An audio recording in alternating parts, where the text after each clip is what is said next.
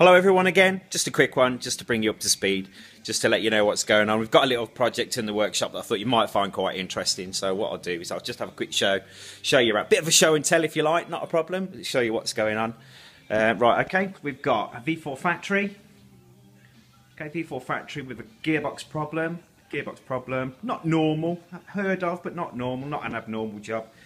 Okay, what I'm going to do is I'm going to show you pretty much dead interesting stuff gearbox is out, engine still in, gearbox is out, crankshaft, there would be, clutch would be here, gearbox cluster would be in here. So this is where my, uh, where my hand is, is where the gearbox cluster would be, and that through there would be where the output shaft would be. So your sprocket would be attached directly to the back out of that. So if you have a look, that'd be where there's your neutral light switch in there.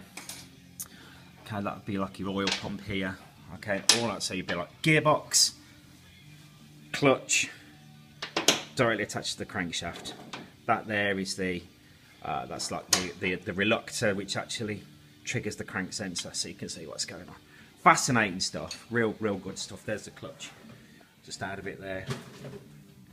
Okay, right, so the gearbox over here. It takes about 25 minutes to get out. I've just been reliably informed by Al, not a problem. So there's the plate, which actually goes inside the gearbox, which is, my hand was in here like that. So this is where the clutch would be attached to. So your transmission line would come from crank, clutch, through the gearbox, into the, that's the gearbox lay, shaft, gearbox output shaft, onto your sprocket. Okay, sprocket, chain into that, drive to the back wheel. Just out of curiosity, just so you know what's going on.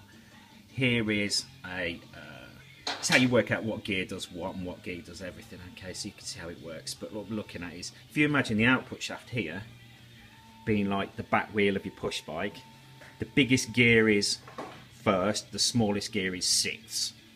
So we've got, uh, let's have a look, first, second, third, fourth, fifth,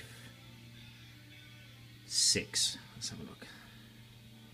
Six, yeah, that's it. So, of course, a bit tricky, the trick of the light in this one. So that's for your first, second, third, fourth, fifth, sixth. Okay, as it walks through, that's a transmission line. Dead easy. Hope you find it interesting. Anything else you want us to let us know about? Give us a call. Let us know. Send us a text. Get in touch with us on the Facebook page through rsvr.net. See you real soon.